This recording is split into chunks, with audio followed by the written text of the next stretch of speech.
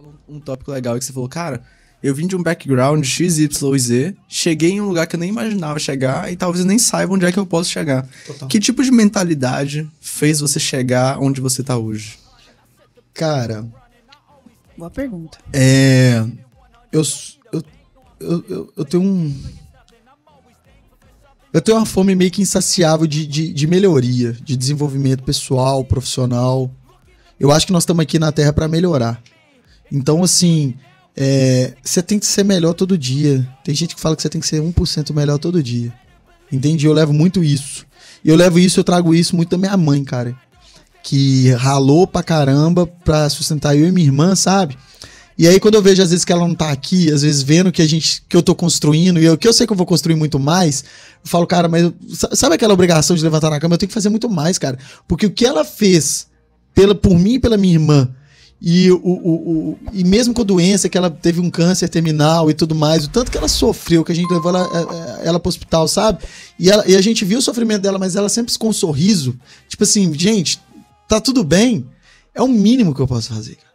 E eu tenho essa experiência minha- na minha vida, mas eu acho que todo mundo tem uma certa experiência na vida que às vezes é um pouco mais dramática, às vezes é- eu nem gosto de ficar falando isso, sabe? Mas é porque você tocou no assunto. E, e- e no final das contas, nós estamos aqui, aqui, é um sopro, né? Uma experiência, independente de religião, se vai ter um, um depois ou não. Mas é a oportunidade que nós temos é agora, cara. Então, assim, eu odeio, eu, não é que eu odeio, eu não gosto de pessoas medíocres. E não me leve a mal. É, medíocre não é uma coisa ruim. Medíocre é ser mediano. Na média. É um estado. É, eu não gosto de pessoa mediana, sabe por quê? Todo mundo pode ser melhor de si só. Entende? Você pode ser melhor do que você é hoje, amanhã. Você também pode, eu também posso. Pra que, que eu vou ficar na média? Na média, no final das contas, é todo dia acordar, fazer a mesma coisa, sabe? Cumprir tabela.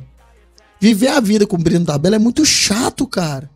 Ah, Bruno, mas eu não tenho, às vezes, o conhecimento que você tem, às vezes você não tem o network. Eu não tinha bosta nenhuma disso. Nunca tive. Nasci lá, na, sabe? Entende? Então, assim, é, é o agora. É só pra você levantar e falar, cara, eu vou ser um pouquinho melhor e, e- e é isso. Eu não vou ser medíocre. Eu vou ser todo dia melhor e eu vou estudar um pouco, porque dói. Estudar dói, cara. Eu estudo todo dia. Estudar dói, você queima fosfato. É melhor você ficar deitado assistindo Netflix, sabe? Cabeça zerada, assim, ó. Só deixando o tempo passar. Mas o tempo tá passando. E tem gente construindo, e tem gente indo pra dentro. E depois passa 10 anos, você fala, não, fulano tá. Fulano tá bem, hein? O que, que esse fulano fez 10 anos?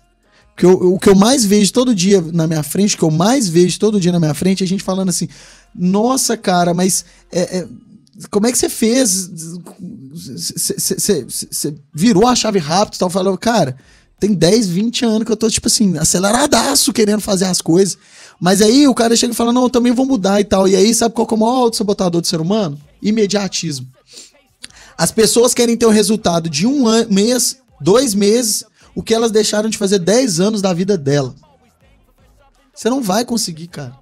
Entendeu? Legal. Essa mentalidade, então, de melhoria contínua, né? Sim.